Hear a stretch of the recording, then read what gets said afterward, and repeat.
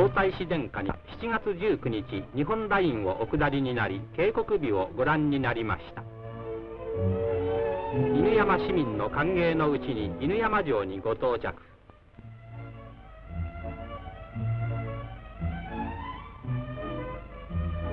木曽川に臨む国宝の名城日本最古の三重の天守閣です。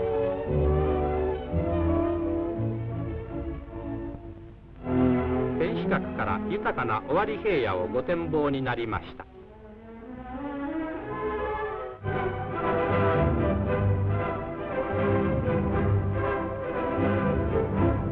開港50周年を迎えた名古屋港では7月20日の海の記念日を中心に祝賀行事が盛大に行われました。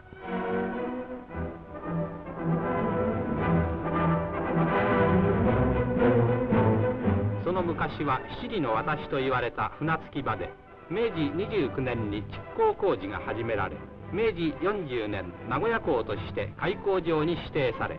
50年後の現在近代的な港湾施設も完備され日本四大港の一つとして立派に成長しました。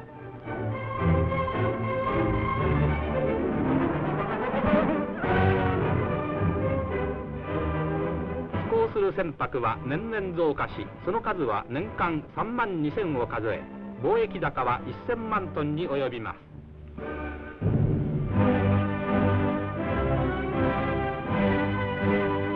輸出品としては当地方の重要な生産品である陶磁器をはじめとして繊維機械類車両など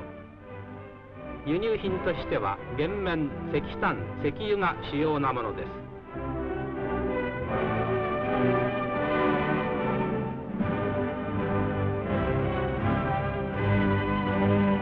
た港内の造船所では大型船舶がどしどし作られ各国に送り出されます。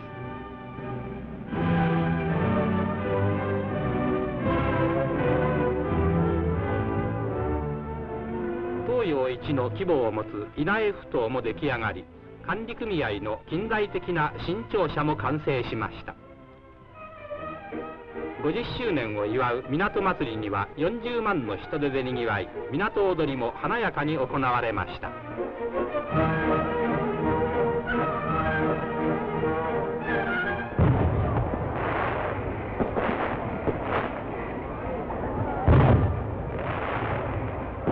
打ち上げ花火や巻原船も海上に浮かび夜空を豪華に彩りました。